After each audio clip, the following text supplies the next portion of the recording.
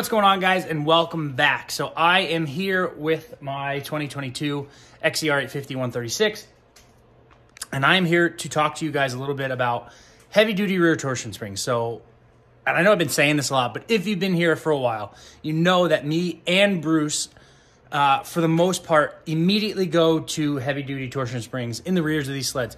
The factory ones just aren't enough, even if you don't weigh a ton. Uh, I think Bruce is only around 180. I was 180 last year and ran them. I'm 190 this year. I'm gaining a little weight, you know. But uh, they are needed. They're just the, the factory ones are just too soft. So when we put this sled together, uh, a big thing that we were talking about was Jesse, try it the way it is.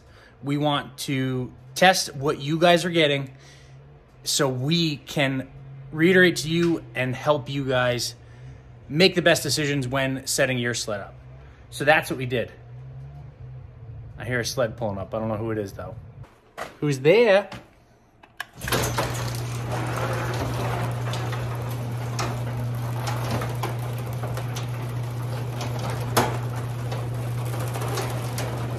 Skipper himself and Turk. What's up, Turk? What are you doing, dude? Show him your sweet snowmobile you just rode in on. What do you got out there? You gonna show him? Come on, let's go see it. Wow, it got cold out. Turk, is that yours?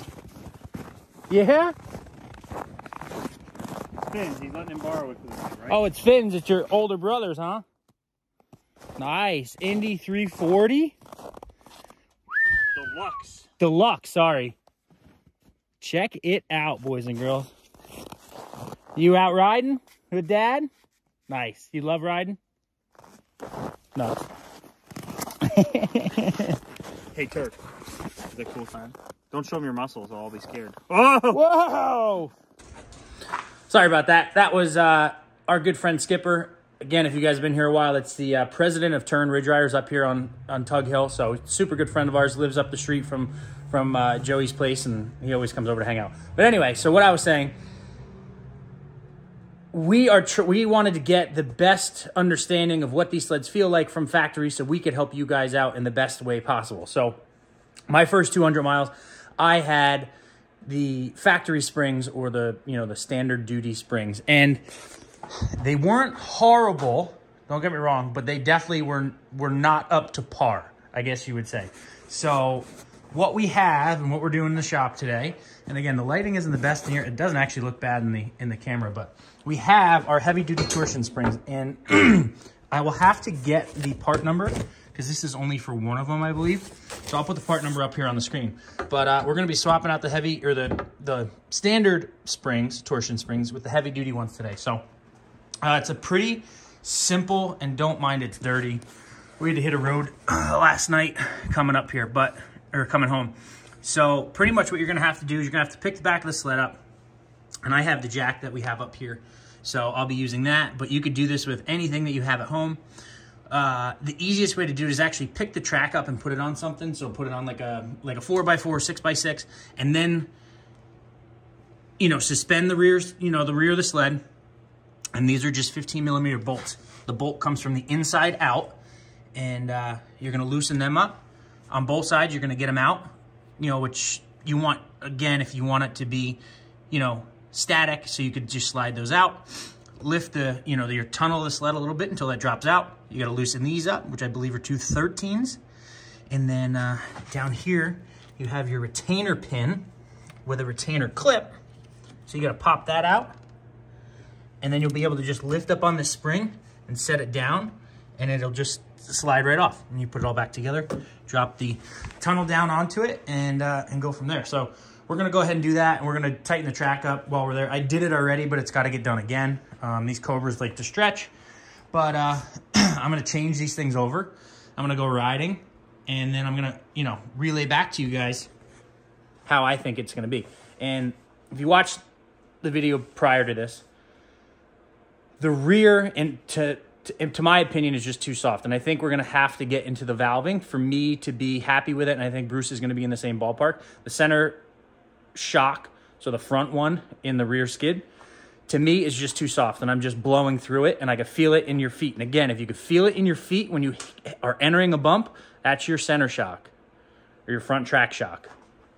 So, but this video is just talking about heavy duty springs, so that's what we're gonna do. So I'm gonna uh, get started on this thing and I'll jump you guys in and let show you, you know, some tips and tricks. Okay, so I have it um, just suspended enough that there's a little bit of weight on the back of this track. And this bolt, you'll see, just be able to go like this. So I got it already loose already. So I can literally just pop it out. Don't drop it in your track like I just did. And you have, uh, you have your spacer that comes out like that. So that all goes in just like that. We'll go to the other side and do the other side. I've had the fire going in here to defrost this thing. We have heat in here, but I try not to use it. So we got the wood burning stove going. And it is hot, hot, hot in here. Uh -oh. So put that there. And again, just comes right out. See? So now you could go back up here.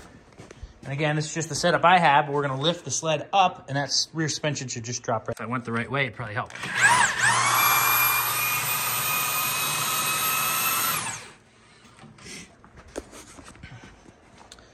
So just like so, we now have uh, free reign to do whatever we need to do.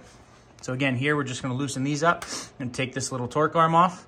And then we're gonna, you know, pop the clip out, pull them out and, you know, pull the tension off of them and go from there. So it's really not a hard job, guys. This is super easy. So pro tip that I forgot to tell you guys, put the setting of your torsion springs back to the softest setting or low uh, before we're going to do this. Just gonna make it much easier. So you see that this one's already released.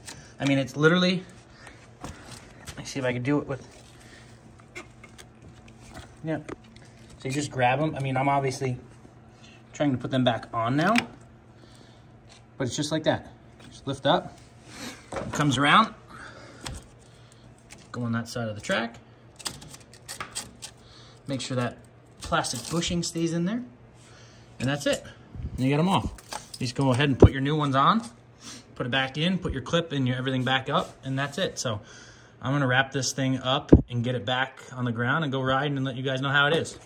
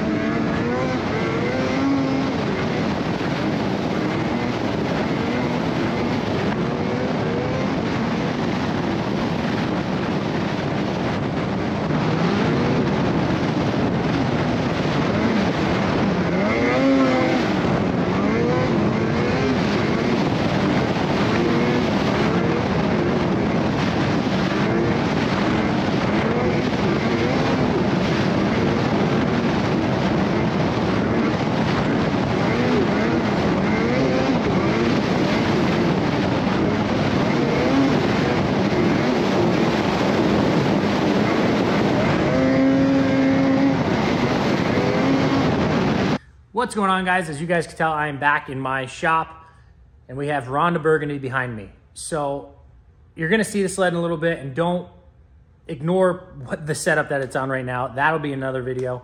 But uh, this video is 100% about heavy-duty torsion springs, and they are, and you can mark my words for this, they are 110% needed if you are an aggressive rider and in that, I would even go down to 160 pounds up. And then once you, I mean, obviously once you get even further than that, you're gonna need the extra heavy duty. That's probably like 250, 260 on, you need the extra heavy duty.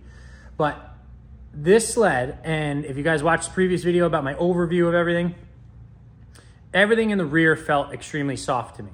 And these torsion springs, 110% changed the entire feel of the sled. It was actually incredible how much of a difference that it actually made. Last year with my VR1, I changed valving and heavy duty springs right off the bat. So I didn't know what the factory springs felt like. This year I did. And oh my God. So if you guys are on the fence about doing it, do it. I am 190. Those were only set on setting one. They weren't even set on setting two or one and two or two, two. So they're on the softest setting and unbelievable difference. It just, it even made that front track shock feel better. Not by any means did it feel great, but it made it feel better. And uh, it's, they're just needed. I don't know. So Rhonda is sitting here. She doesn't have a rear suspension right now. She only has a, a bucket. But again, that'll be a that'll be a later video. Um, how do I explain the heavy duties? Less weight transfer, much less weight transfer to the back. Uh, plants skis better when you're coming through a corner. It it doesn't. Again, if you're not transferring the weight to the back, it's going to keep the skis planted. So it's, it, you're going to turn better. It's going to take the big bumps much better. And it's going to be harder to bottom them out. And again, can't go into too much detail about suspension, you know, the rear suspension and everything, but you guys, obviously, with it being out, you know what's going on. But I, I could put heavy duties on this sled and I could ride it for the season. I'm not going to do that because I like Again, super fine, detail-oriented suspension and setup. But I could 110% put that on and I could ride them. So there is going to be a ton of videos coming about what we do and, you know, further and further and further with suspension. Bruce is already working on a bunch of things. I'm going to be trying a bunch of things coming up. But as for getting you guys out onto the snow right now and enjoying your ride, throw in a set of heavy duties. Again, if you're over 250, 260, throw in a set of extra heavy duties and go ride, go enjoy. It makes it 10 times more enjoyable. When this thing was with the, the stock springs in it, it was it was hard. It hurt my feet. It literally was blown right through the bottom of it, right to my feet. And this at least eliminates, I would say, half of that. Makes it 50% better. So we still have some work to do, but that is and again, I'll stand by that. And we've we knew this was coming, but we wanted just to 110% make sure that they were needed before we told you guys that they were. But uh, just like we always said, they're definitely needed. So if you guys can't find them because they are on back order on Polaris website, give Southside Sales and Service a call. They're in North Adams, Mass. I saw a lot of people not knowing where it is. So I'll do a better job of saying that. They're in Massachusetts, Southside Sales and Service. Give them a shout. They do have a decent amount of them, but they don't have, you know, millions of them. So uh, call your local dealer, see if they have them. I don't know if you could get them off eBay or anything like that, but uh, just start looking, guys, because they're it's a game changer. It's a 100% game changer. And uh, I can't say more than enough about it. So um, that's going to do it for this video, though, guys. If you have any questions, concerns, comments, put them in, you know, put them in the comments, and I will, of course, get back to you guys. But uh, Thanks for watching. Make sure to like, make sure to subscribe, and we'll see you guys in the next one.